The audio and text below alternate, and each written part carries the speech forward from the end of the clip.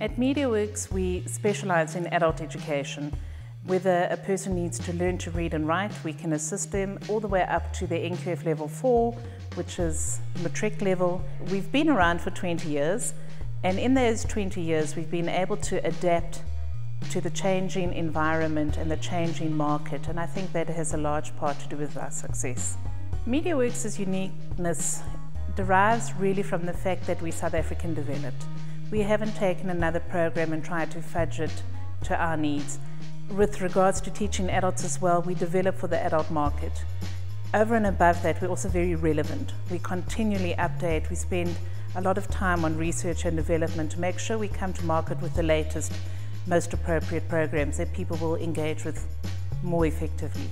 Uh, sort of our single strongest emotion that makes us successful is passion. We really do give a damn. At the end of the day, that once that learner's been with us, they are able to read and write, do maths, whatever they were applying themselves, better, if not the best to their ability.